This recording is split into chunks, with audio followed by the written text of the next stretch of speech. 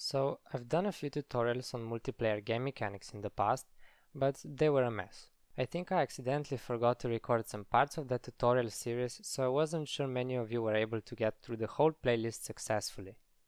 Since we are patiently staying at home these days, I thought, why not make a multiplayer game, send a copy to your friends and spend your staycation having fun playing custom-made minigames.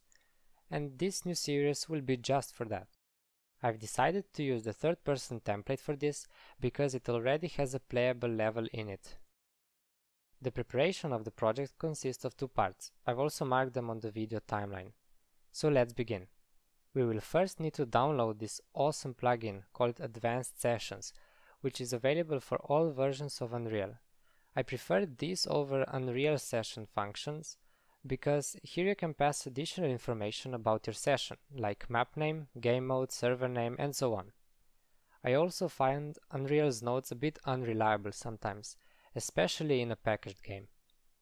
Move the downloaded file in your engines folder, which is usually located in the program files and inside in Epic Games. Go to Engine and then Plugins, and here is where you will extract the downloaded file besides all other installed plugins. You could put it in your project folder, but here it's installed and it's available for all other projects. Once you've done that, restart the editor. When it opens up, you will probably be greeted with a message saying New plugins detected. Click on Manage plugins and you will notice two new items which came from the Advanced Sessions plugin. Enable them by clicking their checkboxes and before we start the editor, find Online Subsystem tab on the left list and make sure you have Online Subsystem enabled as well as Online Subsystem Steam. Now we need to tell our project to use Steam as the default online subsystem for handling multiplayer sessions.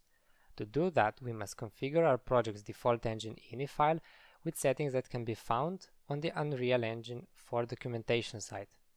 One thing you should know about these lines is Steam App ID, which is set to 480 here. This particular ID is given to a Steam game called Spacewar. You can use this app ID to test multiplayer games made in Unreal for as long as you don't release your game. And once you do, you should get your own app ID for the sake of performance. Save the file and restart the editor. To see whether we set up everything correctly, we used to run the game in standalone mode and wait for the Steam overlay to appear in the bottom right corner of the game window. But beware! With the release of 4.25 version, that no longer happens. Steam used to initialize a server on standalone mode startup, but they noted that this was never meant to happen due to some bug. There are still a few ways to check if our setup is working. We could package the game, but there's a more efficient solution, which is to run the game by right-clicking on the U project file and selecting Launch Game. It's similar to standalone mode, but it's closer to the packaged version.